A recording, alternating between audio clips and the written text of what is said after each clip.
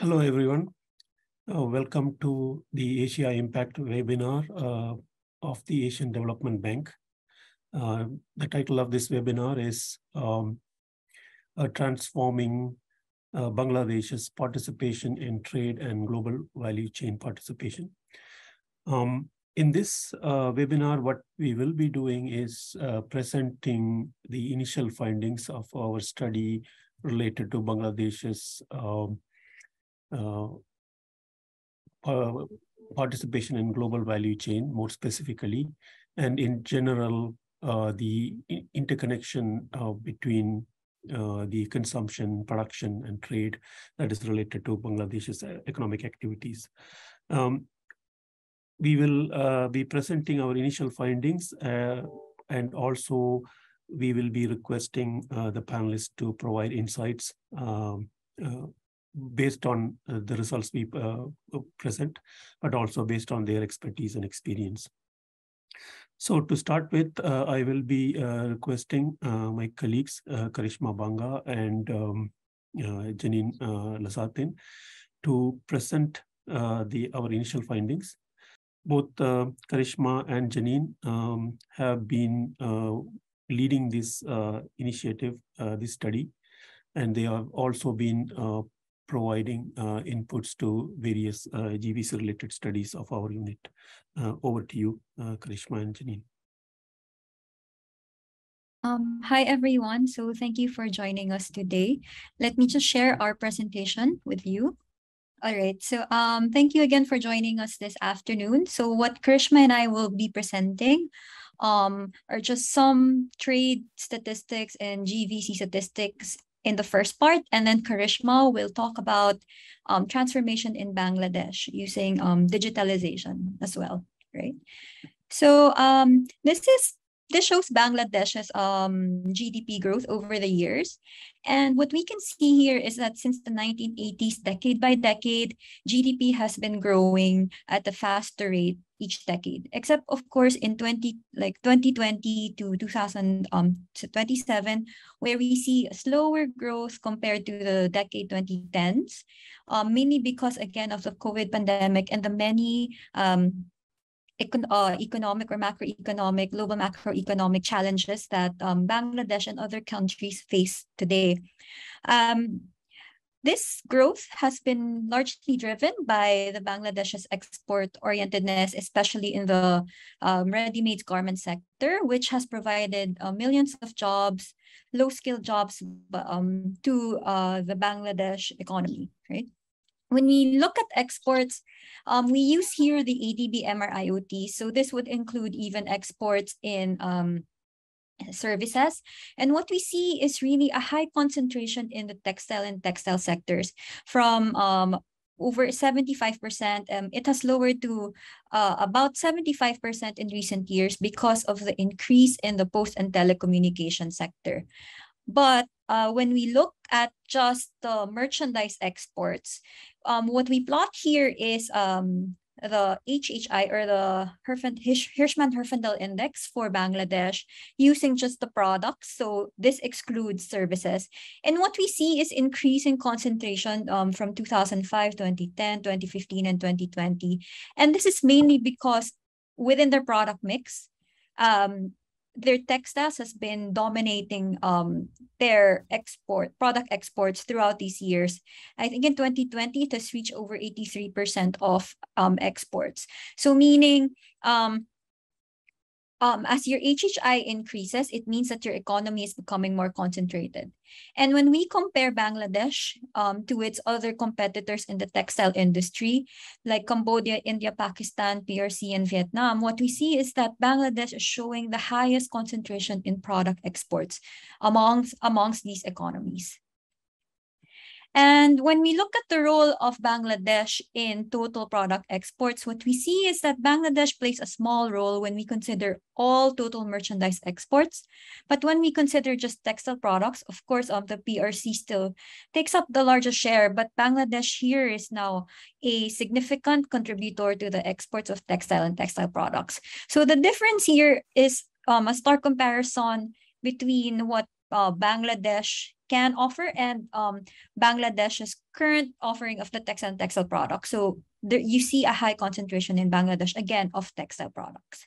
And what we see here, um, we have highlighted um, Bangladesh's connections or the top three export markets for Bangladesh. And we see that um, them, their products mostly go to Germany, USA, um, Great Britain, and some other EU nations as well. Okay, again, this chart tells us that we compare economies of the same size and also economies with um uh who are Bangladesh's competitors in the um, textile market or textile exports market. And we see that Bangladesh has room to grow in terms of trade openness for its size. And one way to do to do this is to increase exports and imports through um, participation in global value chains, which I'll go to next. Okay. Right. So um, this is um, Bangladesh's current exports that we decomposed into certain value-added categories, okay? What we see is if we look at just the light blue and the green bars, this is um what you call the trade participation, um, trade-based GVC participation. What we see is that Bangladesh's um, export is actually 70% non-GVC value added, okay? So meaning um only 30% of Bangladesh's total exports over the years are related to GVCs. Okay. Um, when we consider production-based um, GVCs, um, Alawang Wei, Yuanzhu, this is a different methodology from just the decomposition. We see a large portion, uh, the dark blue portion is um, simple GVCs. If we consider just um, uh, Bangladesh's direct intermediate exports to the next economy, which the next economy uses. So it's more of um, a simple GVC um, setup for Bangladesh, but we we want them to be engaged more in also complex GVCs because complex GVCs gives them the um, uh, opportunity to sort of um, capture um, tech from upstream and downstream industries apart from Bangladesh. So it kind of helps them deepen their participation in GVCs, increase trade, and increase trade. Okay um, what again, what the last chart shows us is um, a small participation rate for Bangladesh. And when we compare Bangladesh to other economies of the same size and also um, their direct competitors, what we see is Bangladesh really participates um, quite uh, low for in GVCs. And we when we compare to the world economy, which is total world, we see an average of about 40 to 50% participation rate in GVCs, but for Bangladesh, it's just about 20 to 30%. So there's room for Bangladesh to further increase its participation in GVCs, right? Um, and, but um, again, because of the dominance of the textile sector, we are seeing um, a large, um, well, a, a small or a, a short or uh, sorry, low participation in GVCs because of the low GVC participation of the textile industries. But when we break it down by sector, we see like varying degrees of um, participation. But overall, what we're seeing is that, again, it's a high FVA or a high backward participation economy where it gets a lot of its inputs from foreign um, value added for GVCs, and then like uh, a comparatively lower FVA um, sector. And uh, later, what we'll see is that machineries and um, some other um, sectors have uh, are RCA sectors for Bangladesh or are competitive sectors for Bangladesh where they can try and increase exports because they already have some competitiveness in that sector. And again, increase their overall participation in GVCs and um, increase trade in general to promote economic growth or further economic growth. Okay. This is my last slide, which ranks um, RCA using both gross exports and value-added exports. So they're just two different ways of computing for revealed comparative advantage with um, RCA computed by value added using forward value added. So it takes into account even the indirect exports of that sector. And what we're seeing again is a high dominance or of the textile industry. Um, what we see is that um, over 20, like um, when we compare the textile sector exports of Bangladesh to the world economy, it's over times 20%, right? Times 20, sorry. And then um, next we see, again, we see telecommunications, which is also part of the top exporting sectors we saw earlier in the, I think, third slide. Um, post and telecoms actually helps Bangladesh or contributes a lot of exports to Bangladesh as well, with it showing an RCA of 10 using gross exports and um, a little over five using um, value added.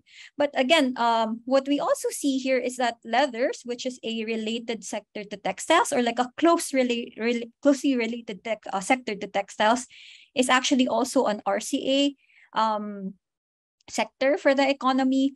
And there's also public ad construction and then other manufacturing, which includes manufacturing of our different kinds of appliances.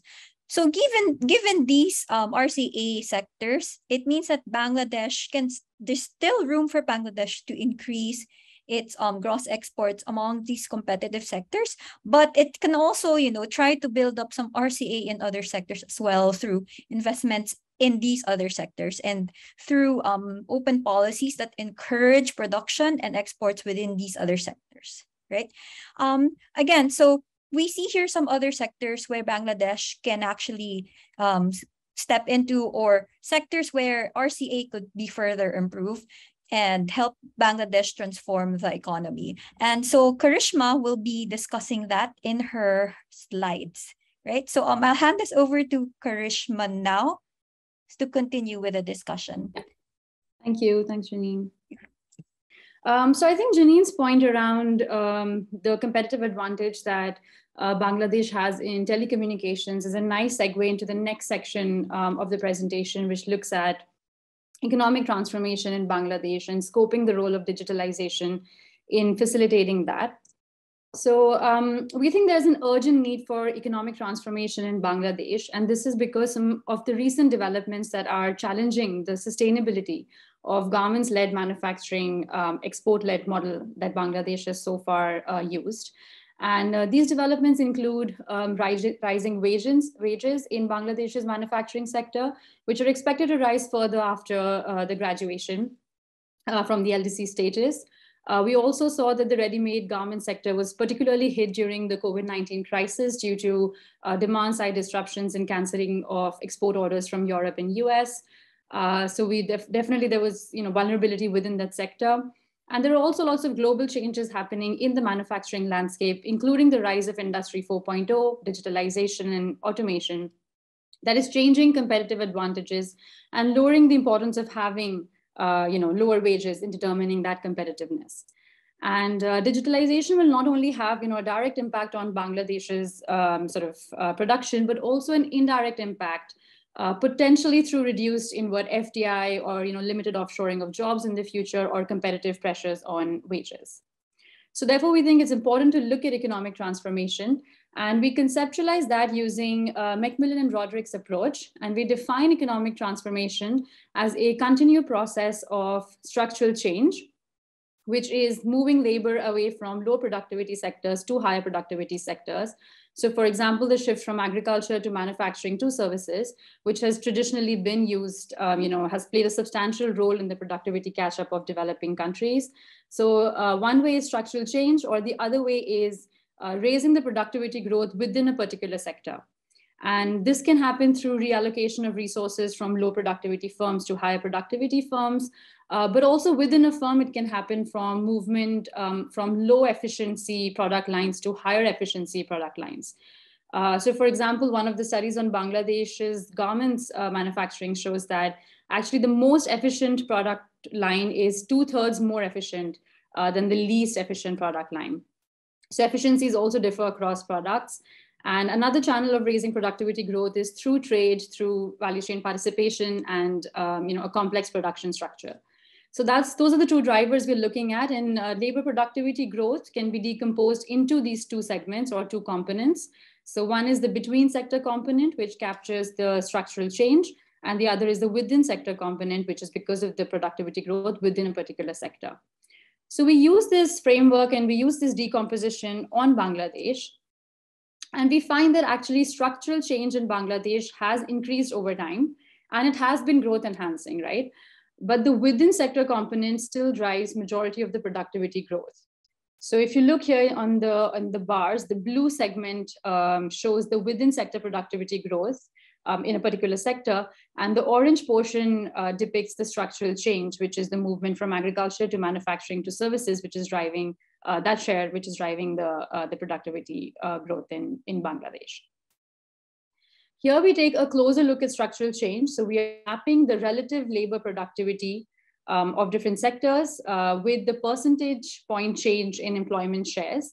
And here the size of the bubble represents the overall or the total number of people employed in each sector. And here we see that in the initial period uh, from 2005 to 2010, there was a movement of workers away from the agricultural sector to the higher productivity manufacturing sector. Whereas in the later periods from 2015 to 2018, uh, we see that there is a clear movement of workers from the agriculture and the manufacturing sector into the services sector, which is a relatively more productive uh, sector. So again, going back to the point around structural change that has uh, been happening in Bangladesh. However, a continued challenge to uh, increasing structural transformation in Bangladesh is the fact that economic complexity is actually declining. So uh, here we've tried to map out the economic complexity of different uh, countries over time. And we find that actually Bangladesh has, uh, the rank of Bangladesh is, um, its economic complexity has gone down, right? So it used to rank 89 and now it ranks uh, 93 um, in, in 2020. And it's actually lower than its comparators, uh, Cambodia and Vietnam uh, in 2020. And if you look at Vietnam, so over 2000, from 2005 onwards, you see that there is a significant progress in terms of uh, economic complexity. And that's because Vietnam added about 44 new products into its export basket. And these were also high income per capita products. Um, as opposed to Bangladesh, which uh, added about 10 uh, products, and uh, these were also low in terms of income per capita. And as a result, Bangladesh continued to be sort of specialized in the low complexity products like textiles. So that's the cluster of green dots that we see here. And there is some movement into other products as well. So that's the, the yellow dots that we see are some of them are the leather products or agricultural uh, products. But there are few opportunities to diversify into related products because of the nature of uh, textile. And it is cut off from the, you know, uh, the know-how of other products, for example, electronics, which is like this bottom left uh, cluster of products uh, that we see. So then we try to understand whether digitalization can actually kickstart the next phase of structural transformation in Bangladesh. And uh, we find that there is significant heterogeneity in terms of digital transformation within manufacturing sectors in Bangladesh. Um, and the top most digitalized sector is the computer electronics and optical equipment sector uh, followed by the electrical machinery and apparatus sector. Uh, whereas the, the labor intensive sectors like leather and leather footwear or textile and textile products are, you know, one of the, they're the least digitalized sectors in the economy, which is not surprising and it follows global trends um, as well as what we see in other uh, developing countries. But um, our firm level analysis using the World Bank Enterprise uh, Survey does suggest that there is a strong correlation between uh, digitalization in manufacturing and economic transformation in Bangladesh. So here we look at very simple indicators of digitalization, such as whether firms have, you know, are using emails to communicate with clients or have a web presence. Uh, but we find that there are significant differences in average productivity levels um, across firms that are using email um, or a web presence versus those that are not. And these differences are statistically significant um, as well. And uh, following on from that, we also find, so here we try to model the probability of a firm, a Bangladeshi manufacturing firm to link into value chains. And we find that um, firms that are digitalized, so these are the ones that are using um, email, for instance, uh, they have a higher probability of linking into global value chains um, as opposed to firms that are not digitalized. Uh, controlling for other factors like the presence of an ISO certificate, productivity of the firm, size of the firm, um, year and industry fixed effects. Uh, so that's what we see from models uh, one and two. And to reduce endogeneity in the model, because we know that you know value chain participation can also lead to adoption of uh, technology, uh, we use here another indicator, which is the percentage of digital firms in the industry in which the firm is participating. So this is measured at the sectoral uh, sector level. And here again, we find that although the economic and statistical significance has gone down, uh, digitalization seems to be positively correlated with uh, value chain participation. And uh, similarly, when we look at export intensity, intensity more broadly, uh, using Heckman selection models, we find that firms that are digitalized are not only more likely to enter the export market, but they are also more likely to have higher export intensity um, through digitalization. Um, again, controlling for firm, industry, and, and time fixed effects. But interestingly, we're seeing that the scope of the digital-led, uh, digital-driven transformation in Bangladesh is actually slowing down, right? Which um, really highlights the need for urgent and targeted investments into this sector and into linking the sector with other domestic sectors of the economy, because we see that the the this, the trade in digital services, whether that's ICT services or digitally deliverable services, has actually been declining post uh, 2016. So here we see the exports of ICT services um, as a share of total trade in services going down, which is the green line, um, as well as the share of digitally deliverable services.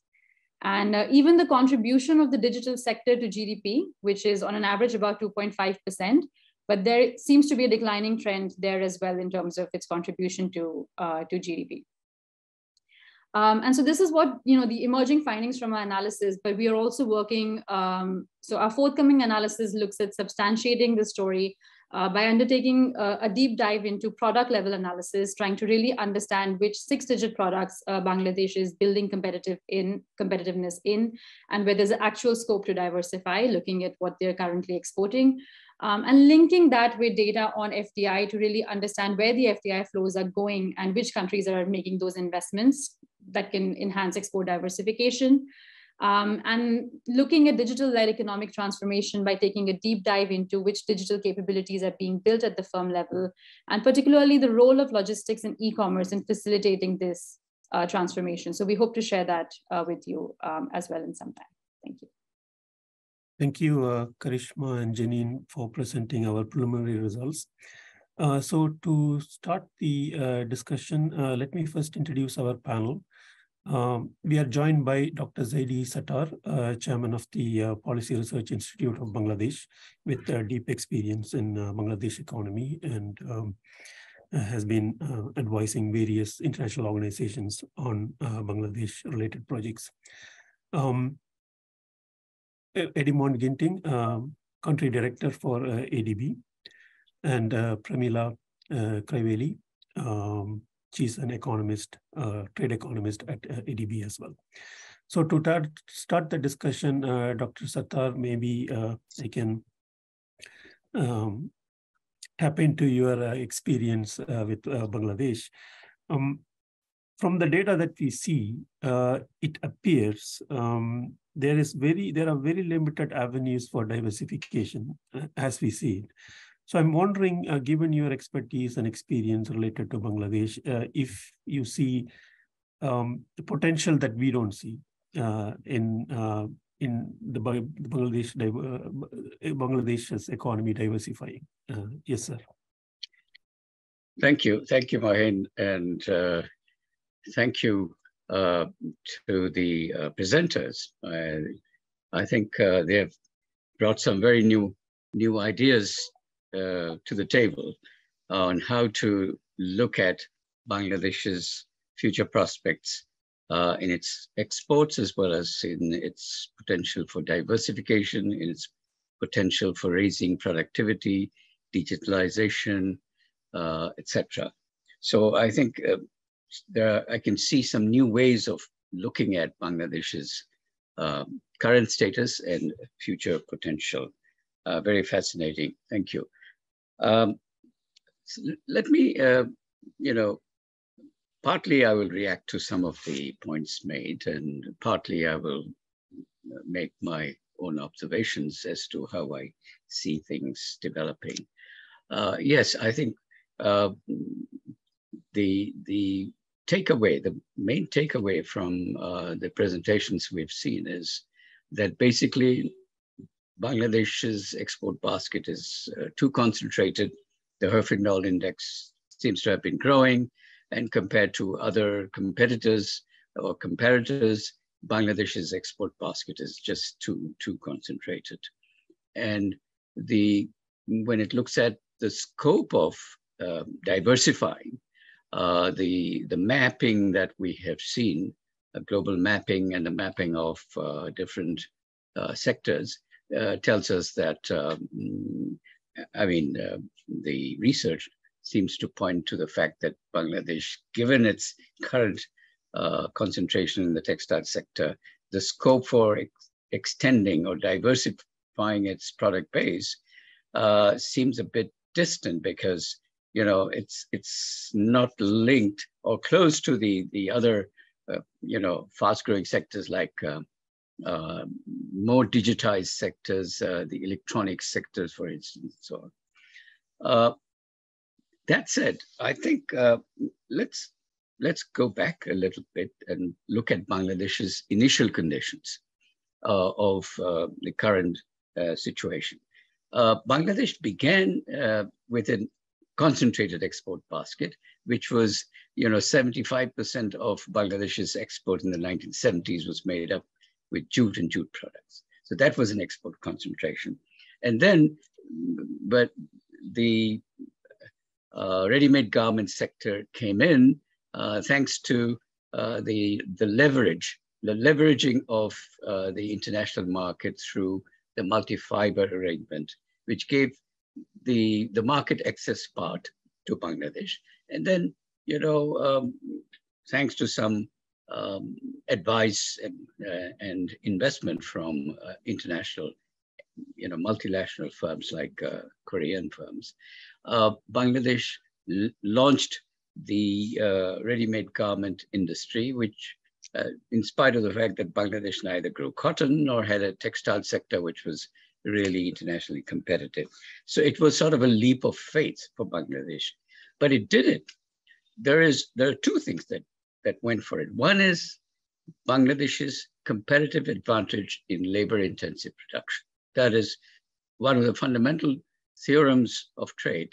Um, you know, gives you uh, that answer that here is a labor intensive product and Bangladesh could do very well in uh, producing and exporting uh, this particular pr product. So this is what we call a triumph of comparative advantage theory. So that's the theoretical part.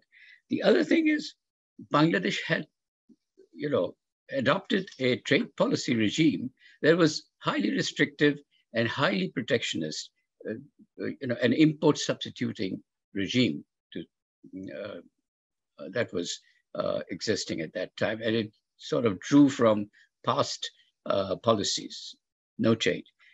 In order for Bangladesh to exploit its Uh, labor, uh, labor cost advantage and leverage the world market, it had to develop, it had to sort of innovate a, a, trade policy regime that was going to be favorable for this labor intensive product export. And therefore, what Bangladesh did was a policy innovation, which is create a sort of enclave or a free trade channel for this ready-made garment sector, uh, which allowed it to import all its inputs duty-free. Mind you, uh, when it started, when, when this industry was launched, 90% of the inputs had to be imported. So global GVC, Bangladesh was very early on, it was a participant in the GVC. 90% uh, of inputs had to be uh, imported, duty free, and that is what gave it the the the uh, scope to leverage uh, the world market based on its own competitive advantage, which is low labor cost. Now, um, now uh, fast forward uh, 20, 2000s, Bangladesh's uh, in the mid in the early 1990s, Bangladesh became more concentrated in ready-made garments. So the earlier concentration on jute and jute products, which was more close to a primary product, Bangladesh became a manufacturing exporter, and but its concentration in exports again reached about 70% in the early to mid 1990s.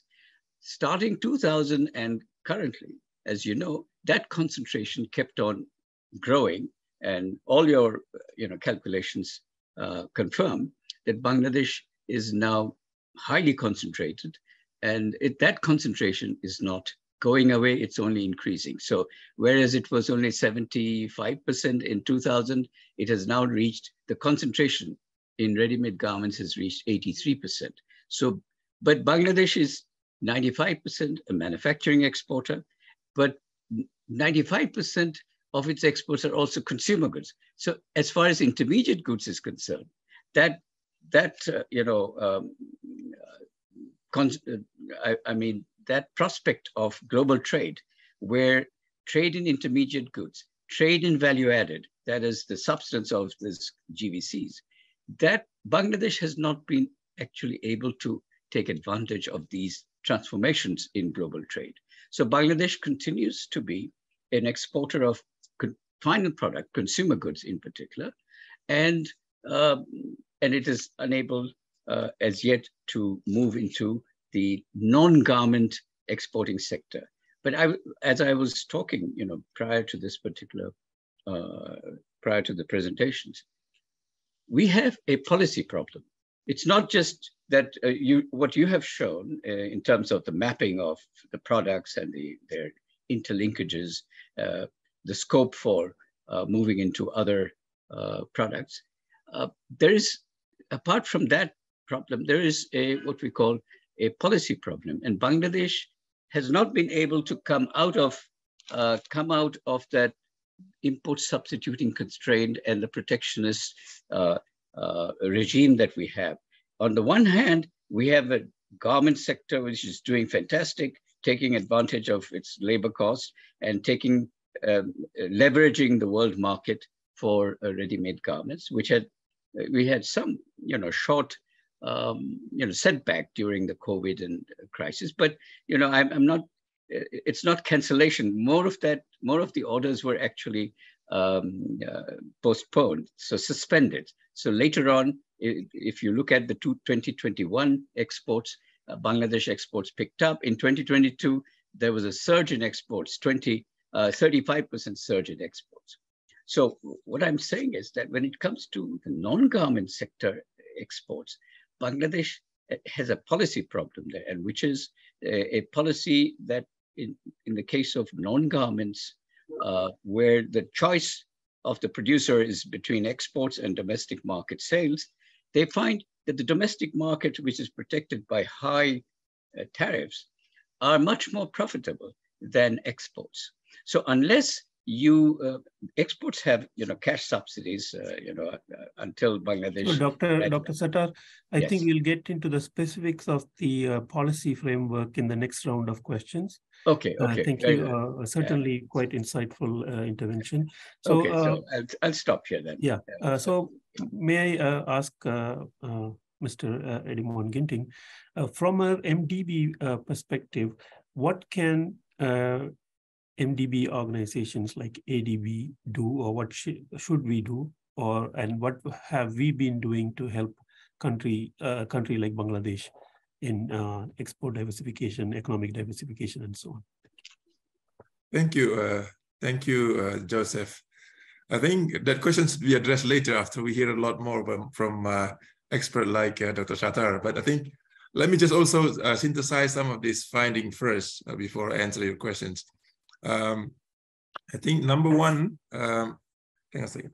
Number one, uh, I think uh, I like the uh, the uh, chart presented by Janine, uh, the first chart. You know, you can see there that uh, growth in the next decade is projected to be lower compared to the last decade. I think that is something that worry policymaker here because the country would like to be a upper middle income country by 2031. That basically means that the country need to grow uh, around 7% annually to achieve that. So lower growth uh, trajectory down the line is, is something that is uh, problematic uh, uh, in terms of achieving that uh, goal. Yeah. Secondly, I think I think Karishma presented the productivity number there too. You see, although the component of the within sector productivity improvement is increasing, but overall productivity is, is also uh, uh, flattening. Yeah. So those are two important uh, points that is uh, need you know a deeper look, and this is actually the reason why we need to diversify. the productivity improvement within the current sector, within the current driver of growth, is no longer able to product to support uh, you know uh, growing productivity that is needed to to support growth underlying in Bangladesh. So uh, the question of Uh, uh, uh, diversification is really really important. secondly, I think you know as Dr. Sattar was saying at, at the end of her in, his in intervention, it is the result of policy. Yeah, I think the result of policy, which is dual policy, is, there where sometimes uh, you know uh, export sector like government receive a lot of good uh, you know environment policy environment for export, but at the same time the, the policy also support import substitutions. Yeah, very strongly. So that this this this slower diversification is basically the result of that. So so what what uh, then uh, our strategy in terms of uh, helping diversification in the country in this context? Then, you know, um, uh, of course, in, in our country partnership strategy, number one is uh, uh to support uh, uh, higher economic growth through diversifications. But in this context, the, our, our traditional way of supporting competitiveness through infrastructure, through, you know, improving road, rail, and so on will not be sufficient because policy environment uh, uh, will, will, is not yet there to really fa facilitate this uh, through diversification. I think the impact of uh, you know uh, uh, competitiveness coming from the infrastructure will not be will not be translated into increased export and diversification if the environment is there. So in that, in that context, we also need to be engaged in the in the policy front to to have a good dialogue with the government in these very policy issues. Um, but of course, you know, uh, uh, trade policies also going side by side with uh, investment policies. If you have a, a good trade policy, policies, usually also uh, uh, you know invite uh, good FDI and so on. So so in that context, I think the policy front also need, needs significant attention. So let me stop there for now. I'll, I'll, I'll be happy to dig some more on some of the the things that we do here in, in Bangladesh to help government. Also, obviously, you know, I thank a colleague from ERCD for for doing this looking at uh, slicing the data a bit more uh, differently compared to our previous uh, publications beyond garment. And this will inform our dialogue and also operations in, in the country. Thank you. Uh, thank you, Edimon. Uh, uh, in fact, your response also gave insights into how we will be implementing Strategy 2030 in Bangladesh as well. so let me ask Pramila for her insights. Um, now, what policy options are available, uh, like given the policy framework that we have uh, right now, what policy op options are available for Bangladesh for diversification and what are the challenges? And also uh, related to that, uh, sort of a counter question is, should Bangladesh be looking at diversification? Over to you. Um, thank you, Joseph. Here. So, uh, should Bangladesh be looking at diversification? Yes, definitely. And uh, I think, uh, uh, first of all, thank you so much for having me with you today. The presentations was really insightful, and I think, uh, yes, we learned a lot. Uh, and many things can be or should be done to diversify uh, Bangladesh economy.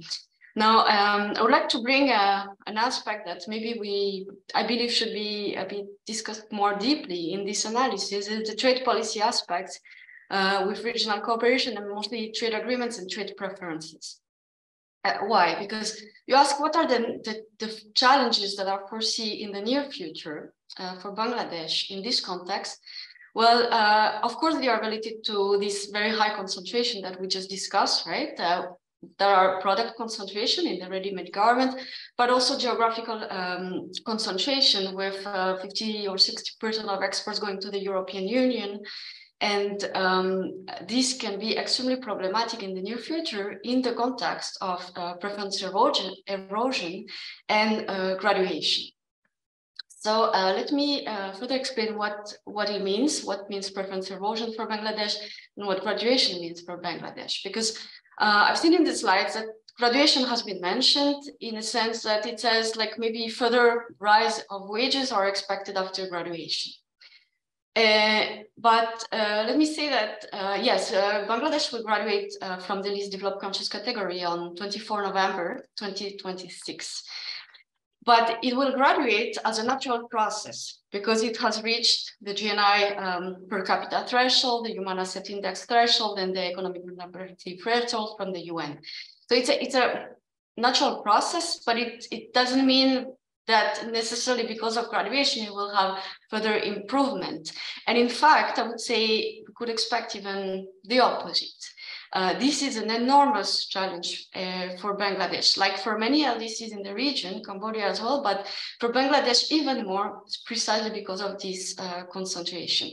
And why? Well, because in the past, Bangladesh has been extremely successful in taking, um, in using trade preferences, in uh, taking advantage of trade preferences granted by um, it was mentioned by Dr. Sattar, like initially there was the market access by MFA, uh, and then uh, the European Union, through the uh, Everything But Arms initiative, provides uh, a very generous uh, GSP scheme to, to LDCs and to Bangladesh. And it, Bangladesh has been extremely successful in, in using these schemes, and especially uh, after 2011.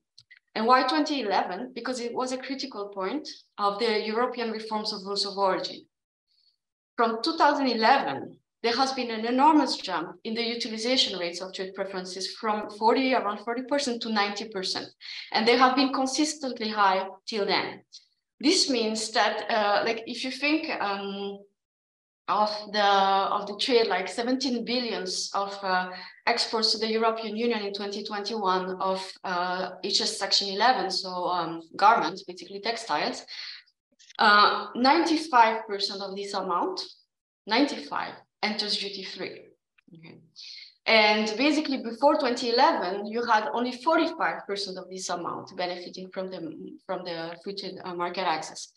And now why I mentioned rules of origin is because it's very critical in the global value chain perspective, because the change that has been observed in 2011 was moving away from double transformation criteria, which means that basically uh, you have um, you have to move from yarn to fabrics and then to fabrics to garments. So it's extremely complex and difficult to, to comply with. And then after that, you have a single transformation from, um, so meaning you can import fabrics and just uh, what we call cut, make, and trim. You prepare your garment and you export it. So uh, when we want to foster GVCs, we need to keep that in mind the policy context that uh, you need to comply with those rules and you need to have a certain value of domestic content. And uh, and um, if uh, after graduation what will happen is is very critical because either you can apply to gsp plus and get the market access or you have the normal gsp uh, but then you will have 9% tariff applied. So imagine on 17 billions it's quite a lot of money uh, but in any case, whatever happens, what is certain is that we are going to get back to a situation like before 2011 with a double transformation process uh, requirements, which uh, with 45% of utilization. So uh, I would say that in terms of options, we need to investigate how we can uh, build other uh, market access and trade preferences, maybe through regional trade agreements and further negotiations, because Bangladesh has only like five uh, ongoing, I think, um, at least agreements notified at the WTO. Uh, so we need to further, you know, negotiate and support. I, I think it has been clearly said we have a policy um, problem. We need also to raise capacities uh, to understand this negotiation and how to to negotiate further uh, further trade agreements and, and market access. Uh, I would say in the region. Now, shall we focus on GVC? Uh, my answer is very simple. It will say it depends how you define it.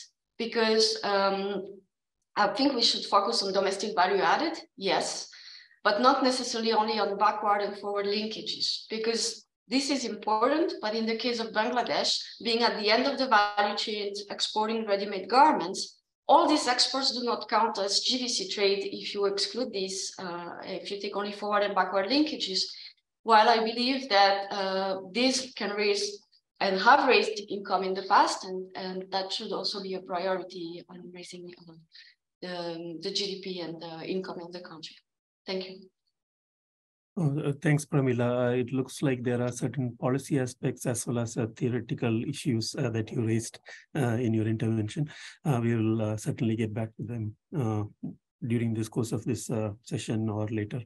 Um, a couple of questions for actually for our presenters, probably Janine can answer. Now, how do we show um, comparative advantage in sectors like telecommunication and construction when we know there's no obvious direct cross export. Hi, Joseph. Um, actually, that's what we're trying to explore at the moment. So what we're doing is, um, like with merchandise products, right? We're able to map um, the products into the different MRIOT sectors. So what we're doing now is adding some um, services trade data so that we can further break down what's in that construction and in um, post and telecoms.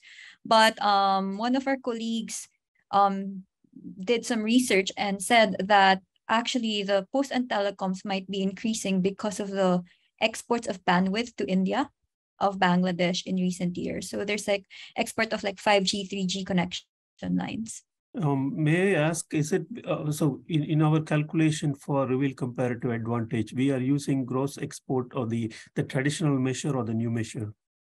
Um, both, Joseph, but we're, what we're doing is using the sectoral level. So um, as to what exactly they're exporting, um, I think that was Abdul's question.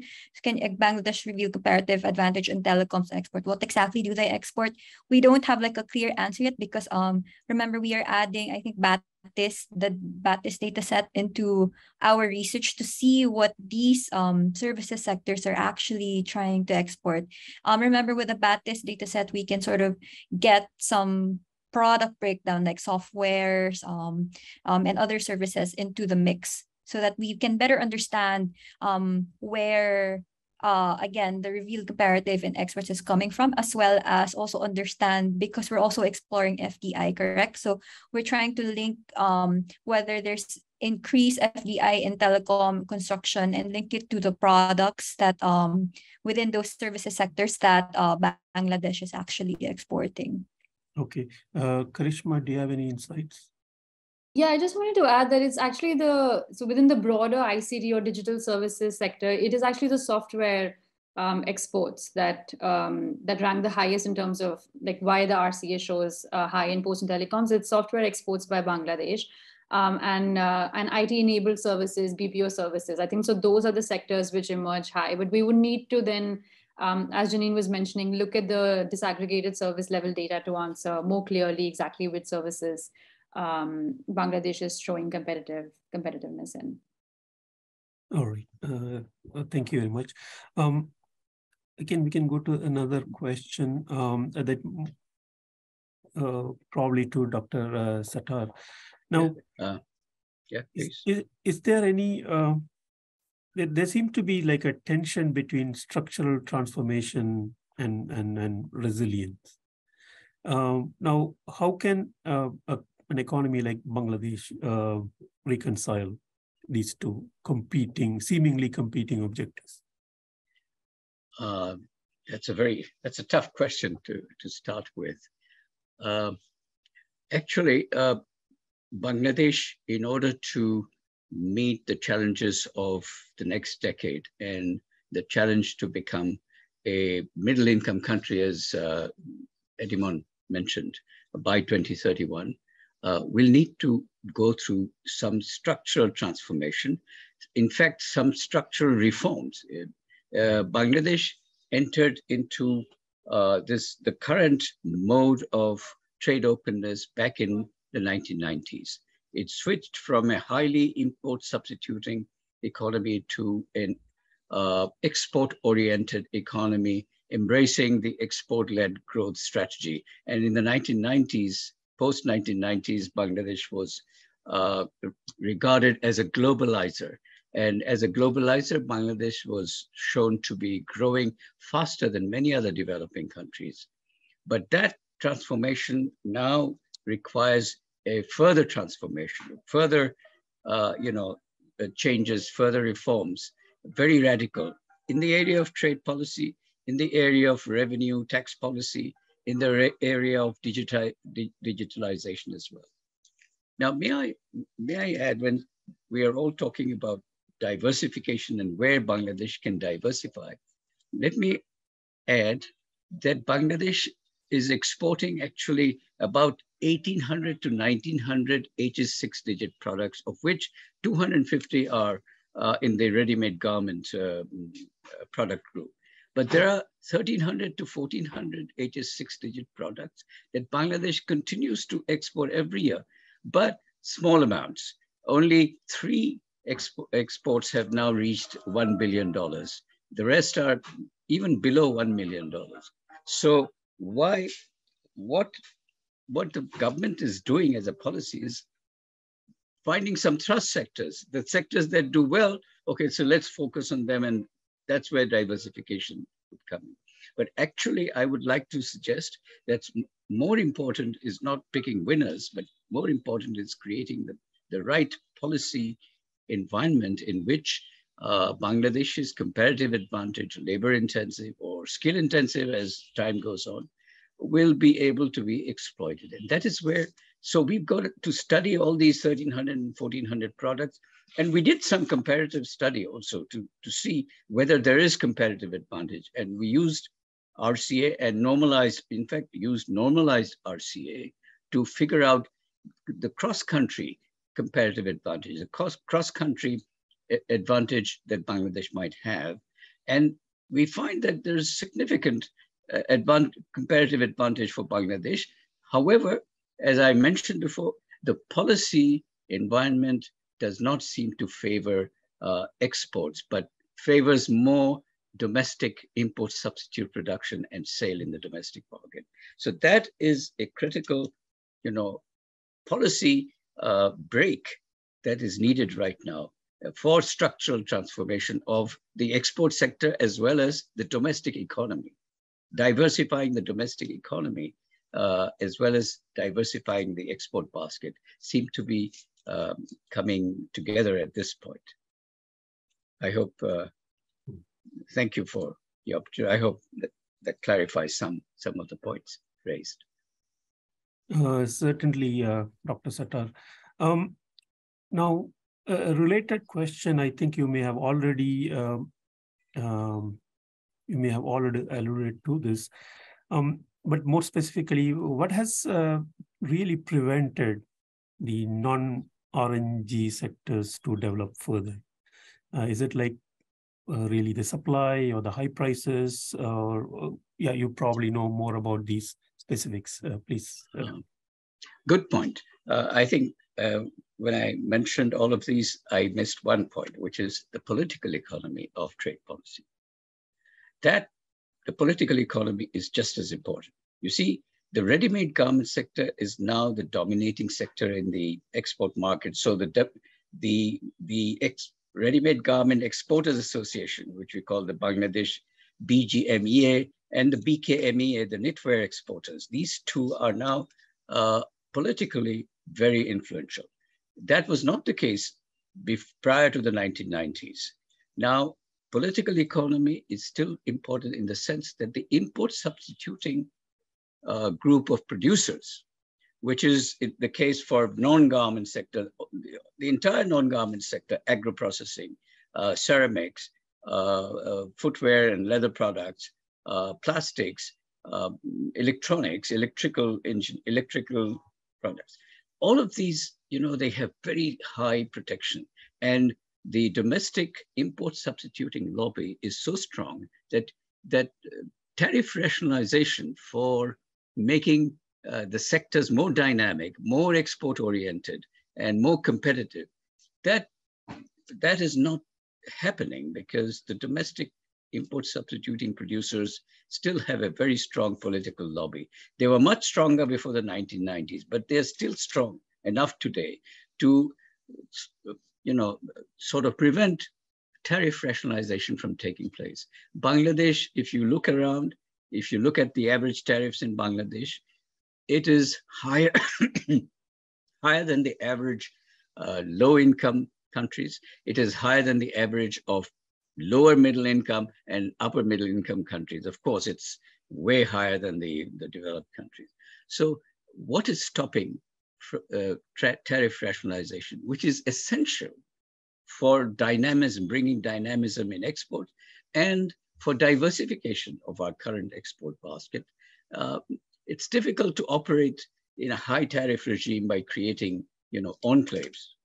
Uh, so the enclave system has worked so far with the ready-made garment sector, but it cannot be extended. Uh, we have tried, uh, you know, these other exports like the leather sector, the footwear sector, the plastic sector, and they they do get the uh, facility of duty-free import, but with you know, limitations. The, the National Board of Revenue, which is the controller, the regulator of, of tariffs, they, they are not as export-oriented as you would hope. And the Customs Administration, instead of being a facilitator of trade, is acting as a revenue collector. And as long as they do that, if customs administration, modern custom administration is a regular, is a revenue collector, it, it cannot facilitate export diversification and exports in particular. So that is, that is a, a conflict, inherent policy conflict that is going on and structural reforms are needed in the in the tax administration as well. Uh, Dr. Sattar, uh, in the interest of time, uh, we'll uh, stop there, but certainly we'll engage uh, with further discussion on that. So may I ask if uh, Edimon has any further insights into the current discussion? Yeah, yeah. Thank you. Thank you very much, colleagues and Dr. Sattar and everybody for uh, your insight. I think uh, three points I would like to highlight. Number one is, uh, yes, I think structural reform is badly needed in terms of accelerating uh, economic diversification in, in Bangladesh. And uh, we know one of the challenges is trade policy. and another, another key challenge is investment policy. And, and that would be part of our work in terms of supporting L, L, L, uh, uh, uh, LCD graduation, yeah, down the line for for Bangladesh. number two, I think I think the the infrastructure that we built uh, is, is also important uh, in terms of improving logistic and so on, which is uh, also in, not in a very good shape now here in, in Bangladesh. But at the same time, contributions of this infrastructure and, and logistic and so on will not be maximized without conducive policy environment. And number three, I think we learned from uh, experience in our uh, DMCs in, in Asia, uh, you know, again about productivity. Uh, in early stage, productivity uh, usually come from capital investment and so on. Later, uh, come a bit more from human resources, but down the line, it'll come from innovations. I think Bangladesh also need to in, improve productivity that comes from human resources and innovation and so on in that context, uh, I think ADB will also be supporting uh, human resource development and also uh, innovations down the line. Let me stop there. Thank you. Yes, Thank you, Edimon. Uh, Pramila, your last uh, intervention, closing intervention, please. Okay, thank you very much.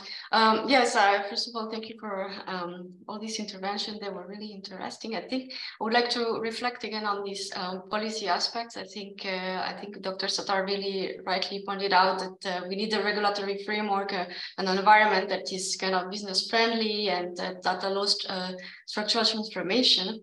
And uh, I think he has, he has mentioned that some analyses have been conducted to look at other comparative advantage in other sectors than just uh, textile and clothing, and also cross-country comparison to see where Bangladesh has a comparative advantage compared to other countries. And uh, I would like to suggest also in this type of analysis to think of the demand side because looking at the comparative advantages, we look at the supply side mostly, but it's also important to identify the market and the demand. And uh, uh, well, um, in the Aid for Trade uh, in Asia and the Pacific report uh, that we launched uh, in July this year um, at ADB, we have conducted some uh, preliminary analysis on, on that and also discussed the case of Bangladesh and Bangladesh graduation. And I would like to suggest that if people are interested to look at it and but to look at um, alternative export destinations. So basically, uh, you know, when you're looking at these uh, sectors that are have the potential to be further developed and maybe uh, to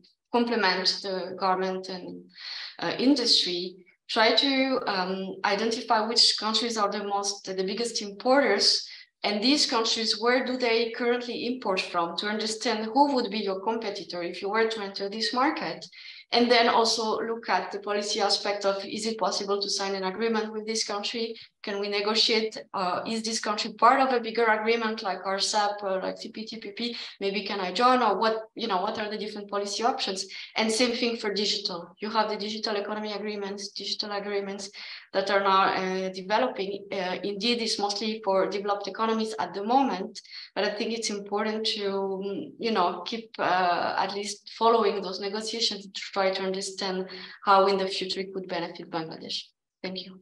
Uh, thank you very much, Pramila. So before closing, I would like to uh, inform you all that our uh, next webinar uh, would be on 10th of November, uh, starting at 2 p.m. Manila time. It will be on the Russian invasion of Ukraine and the impact on small firms in Central and West Asia. So I would like to thank you all for your participation and uh, the questions and the interventions. And we uh, certainly gathered um, uh, information and insights that we can take forward in our research work. Uh, thank you very much and uh, good, good evening. Thank you.